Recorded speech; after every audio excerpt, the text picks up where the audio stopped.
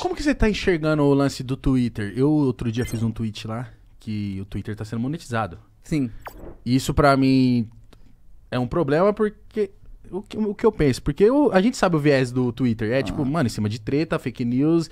E aí eu tô vendo que a galera tá ficando, tipo assim, tá virando ou profissional, ou fazendo. Ou escadinha, ou isqueirinho das treta. Ou o que tá de. De motoboy de treta ou de fake news, tá bizarro. Motoboy de treta é bom demais. E aí, e aí a galera do nada, só depois eu vejo esses perfil, o cara postando lá, ah lá, 12 mil dólares esse mês. Eu fico tipo assim, beleza, irmão, você tá ganhando seu dinheiro muito foda, mas. Puta, tá rolando uma parada que não tô. O Twitter tá, mano, difícil. Eu gosto do Twitter, sempre gostei. Eu também, infelizmente, eu gosto. Infelizmente, cara, porque eu queria odiar. Eu queria odiar. E cada dia tá pior. Mas parece que a gente não consegue largar, né, mano? Eu não largo, pô. É, Eu larguei, mano. Eu, Conseguiu? Eu fui Ele conseguiu. hackeado e. Falou, "Fo- não quero tem a recuperar. opção de recuperar lá, estão tentando e eu tô tipo assim, ah, foda-se, mano. Entendi. Às vezes eu entrava lá, eu juro, eu entrava lá e eu saía triste, porque eu lia vários elogios, eu lia duas, três, alguém me xingando muito, eu falava, ah, foda-se, eu vou ficar pen- Mano, lendo por essa que alguém porra. xinga vocês, mano? O quê? Por quê? O quê? No Twitter é, virou moda Mas o que, que vocês nós. fazem pra. pra que, tipo, o que, que eles falam? Fala que que... gíria, fala errado. preconceito. Fala... Sério? É, algumas Sim, sim, coisas sim, sim, assim. sim. Ah, As críticas são mais voltadas nesse ponto. Pô, Se pra, fuder. pra você ter uma ideia, veio o Luva de Pedreiro aqui. Uhum. Moleque sensacional. E a galera já tava pegando no pé do moleque e falou assim: Ih, esse. Porra, pode ir pá. Quer, quer, porra, Dois pode ir pá, favelado. não, não tem quem de nada. Juntou com luva de pedreiro, vai, vai durar dois minutos, vai acabar. E a gente ouvindo isso, ouvindo isso, a gente não quis também transferir pro, pro luva, até porque, mano, o moleque tava vindo numa onda aí, beleza. Aí ele, ele chegou no começo e falou assim: tô vendo a galera falando que vai ter dois minutos esse podcast aqui, vamos fazer uma brincadeira? Eu falei, vamos, vamos fazer uma brincadeira. Ele falou: a gente anuncia, a gente organizou isso. Eu falo, se receba é o melhor do mundo, graças a Deus, a luva de pedreiro, pô, vocês fingem que acabou o podcast e tal. o que a galera atacou esse moleque, Que isso? chamando ele de burro, de não sei o quê. E aí ele, ele veio aqui, onde você tá sentado, ele explicou, tipo assim, gente, da onde eu vim, ou eu estudo, Eu como. ou eu vivo.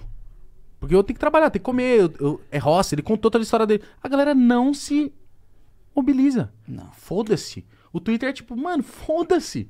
Foda-se, irmão. Fica mais engraçado, cara, que é- são essas pessoas normalmente as que depois vão pregar virtude, né, velho? Vão pregar virtude na internet, falar que é foda, que Família. é pai de família, que é do bem e do caralho.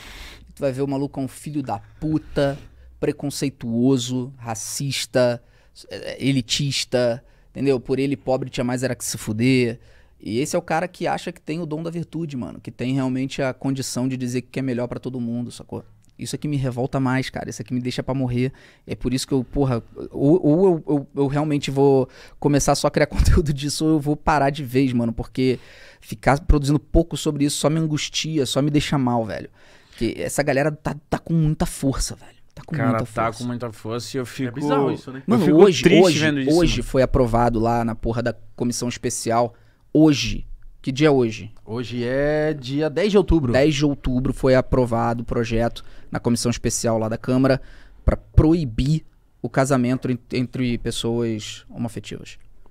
Então, assim, é um projeto que é, ele é natimorto, ele não tem a mínima condição de ser realizado porque a STF já declarou, já definiu isso, essa, essa pauta. Então é só o Congresso querendo mostrar o que ele é.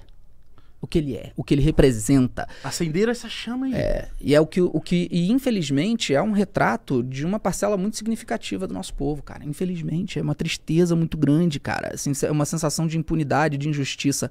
Foram 12 votos a 5, se eu não me engano, posso estar errado. É, agora vai para uma outra comissão para ser votado de novo. E a gente acredita que, óbvio, isso não vai dar em nada. Mas. Mas dá medo? É um recado. Porque tá rolando. É, não era nem pra rolando. rolar. É um recado.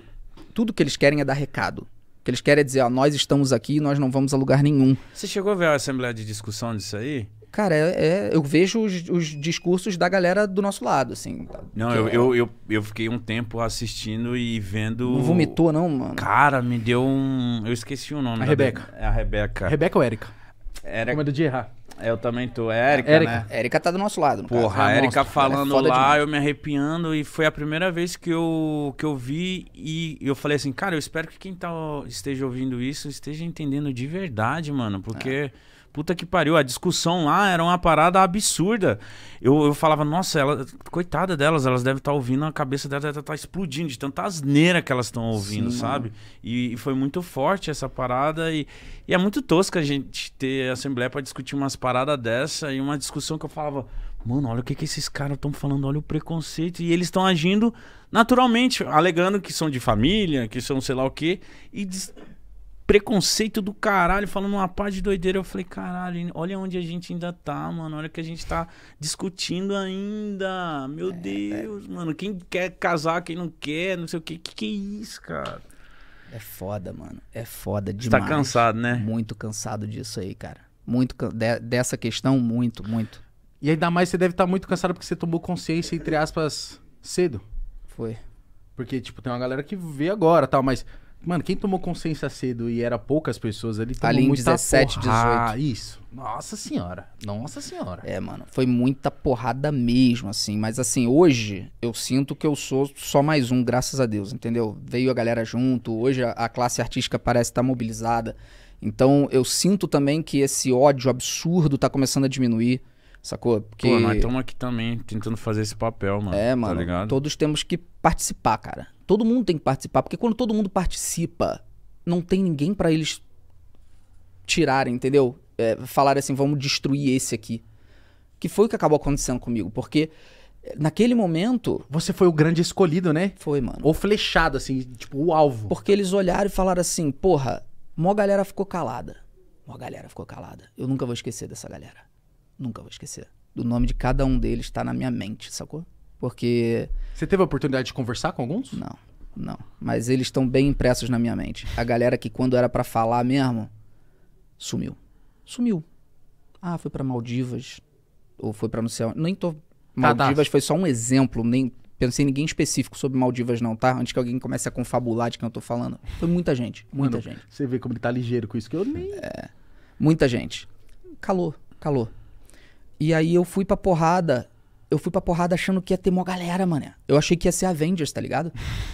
Tá ligado? Tipo, abrindo o bagulho do Avengers atrás e mó galera vindo. Mas só saiu tu. Uhum. Irmão, eu saí aqui assim e só saiu meia dúzia. Nossa. E aí o Thanos veio, velho. Com toda a força do mundo. Então eu fui acusado de tudo que vocês podem imaginar. Fizeram montagem minha, cometendo todo tipo de atrocidade que vocês podem imaginar, velho. E aquilo foi assim, um período da minha vida, eu fui acusado formalmente pela polícia de corrupção de menores. Isso, é... A polícia foi na minha casa, mano Credo. me avisar que eu tava sendo processado pelo delegado da Polícia Civil por corrupção de menores. E o motivo, eu falava palavrão em vídeo antigo. Tem, tem noção do que é isso, velho? Não tenho, mano. hein? E eu ter que lidar com aquilo falando, mano, eu vou ser preso. Essa galera vai me prender? Como é que eu vou. Você sentia isso? Sentia, lógico que eu sentia. Tinha plano de fuga, tinha a porra toda, cara. Tinha plano de fuga, lógico, mano. Se eu não tivesse plano de fuga, eu tava fudido. Porque os caras queriam me prender, cara. Os caras tentaram me prender pela corrupção de menores. Mano, foi pra um nível que eu não tava imaginando, tá? É. Porque, tipo assim, ah, o que a gente vê de fora, tá, Felipe? É tipo assim, beleza, tão batendo nele. Só que no final do dia, eu tô na minha casa, o Mítico tá na dele, quem tá na sua é só você. E a gente fica assim, ah, beleza, beleza, que foda, deve tá foda. Só que aí você fala, tipo, plano de fuga. Hoje, pô, já fui na. Já fui na casa do Bruno tal, você tava lá também. Eu vejo, as- tipo, você tá sempre com seguranças. E eu fico assim, mano. Não tinha noção, cara. Ah, mano. Não tinha noção. Você tinha plano de fuga. Tinha.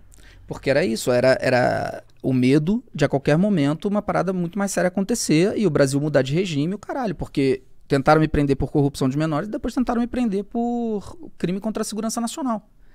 Quando eu xinguei o, o presidente. Aí eu também respondi a processo criminal do Estado por crime contra a segurança nacional. E veio os dois no criminal já? É, os dois no criminal, pô. Os dois pra já. Mano, se eu perder, tô preso. Entendeu? Então, assim. é, foi, e, cara, corrupção de menores. Tem noção do que é corrupção de menores, velho? É tipo, cara que, que, que transforma a criança em, em profissional sexual, velho. Isso é corrupção de Nossa. menores. Corrupção de menores, pra você ter uma ideia do absurdo que fizeram comigo. Pra você ser enquadrado em corrupção de menores, tem que ter vítima. Ou seja, você tem que descrever quem foram as vítimas. O delegado não botou, porque não tinha ninguém pra ele botar. Então eu fui acusado formalmente de corrupção de menores sem vítima. Mas aí você não consegue. Tipo, e como é que fica? Tá, você, beleza, aí entrou com o processo contra. E aí, e a polícia no meio disso que tá fazendo uma parada meio antiética? Meio não, completamente. Você vai fazer o quê? É. Eu vou postar contra a polícia? Não vai. Não tem o que fazer, mano. É se defender judicialmente, é contar pras pessoas o que tá acontecendo e torcer. É rezar, velho. Foi isso que eu passei na minha vida durante muito tempo, cara. Mas isso não te dá vontade, de, nessa parte da sua vida, de falar assim, irmão, quer saber vocês aí, vai tudo pra casa do caralho, não quero mais discutir, fecha o Que meu querendo ou Twitter não, e no- abraço. Não tem vontade de fazer isso? No pé da letra, a sua vida tá resolvida, né? Sim, sim. Eu Senti muita, velho, mas ao mesmo tempo eu falava assim, tá, beleza, qual a mensagem que eu tô passando se eu fizer isso, sacou? Qual a mensagem que eu tô passando? Que não aguenta mais. É, mano, mas ao mesmo tempo, qual a mensagem que eu tô dando pra galera que eu tô falando? Resiste, velho. Resiste que a gente vai ganhar essa porra. Resiste que a gente vai vencer, mano. Qual a mensagem que eu tô passando indo embora? Eu falei, não, o exílio é só se for realmente assim. Não tem outra opção. Sacou? Uhum. Esses caras vão, ou vão me matar ou vão me prender. Se eu perceber que não tem mais como, tenho, mano, vocês não tem, eu tenho, eu- é que eu não, não posso falar, mas eu tenho inteligência de segurança, mano. Não é só segurança física, não. Tem inteligência, mapeando, digital, tudo. Pra poder mapear se alguém tá planejando alguma coisa séria, cara. Se alguém tá planejando alguma execução. Você sempre tem que estar prevendo o que vai acontecer com você, irmão. Caraca, que agonia. Nossa, você deve ter passado por dias horríveis. Cara, assim. Terror, é- terror, de terror. Sim. Aí a galera fica fala ainda assim, você merece porque você que plantou o ódio. Passei por tudo isso. Passo ainda, é, embora tenha diminuído agora, graças a Deus, tá começando a dissipar. Passei por tudo isso pra ainda ter que ler que eu mereço. Eu mereço. E isso, nesse seu vídeo, você falou que isso acabou atrapalhando, imagino, pô, seu psicológico e tal, mas acabou atrapalhando também um lado seu de empresas e etc, que eu, eu não sabia também, porque eu, eu imaginava que você era um cara tão bem relacionado com marcas e tudo mais. E isso também acabou te dificultando, trazendo marcas pra você, pro seu trabalho. Cara, é. Sim, mas não para as empresas. As empresas, graças a Deus, elas, porra, estão muito bem. A Play 9, principalmente, putz, voando, decolando, sabe? Faturamento recorde, tá indo super bem. Porque eu consegui desassociar, entendeu? Mas quando se trata de me contratar para ser garoto propaganda de uma marca, durante um tempo, as marcas, e eu entendo, Uhum. elas tiveram medo, cara. E eu, se eu fosse um empresário, eu faria a mesma coisa. Como é que eu vou contratar um moleque que, que é tão odiado por essa parcela da população, né?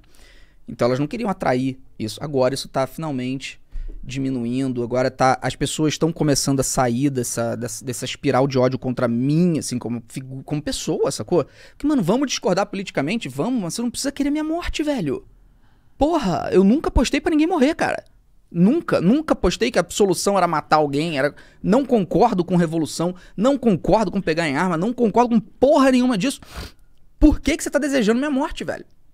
Então, as pessoas estão, acho que, começando. O que aconteceu? O Lula ganhou também e a, a galera viu que o Brasil tá tudo bem. Tá tudo bem. As coisas estão caminhando. O Brasil não virou a Venezuela, como sempre acontece essa ameaça de dizerem que o Brasil vai virar a Venezuela. Não virou a Argentina. O Brasil tá caminhando e agora as pessoas estão começando a, E sabe? na Argentina tá andando a passos largos, hein? Opa, é, nem fala, cara, aquilo lá dá um medo. Mas é isso, aí as pessoas agora estão começando a diminuir um pouco, eu tô começando a poder respirar um pouquinho de novo, sacou? Então eu quero poder respirar. Assim, eu, eu, eu quase me afoguei, mano, e eu não quero morrer afogado, entendeu? Então eu preciso respirar um pouco, então eu não quero mais é esse nível de energia, eu quero dar uma segurada, mano, que eu preciso viver também, cara. Então, Faça isso. o papo é o seguinte: tudo depende do Botafogo. Final do ano. Cara, achei que ele ia falar qualquer coisa menos essa, mano. Eu queria arrancar essa risadinha dele.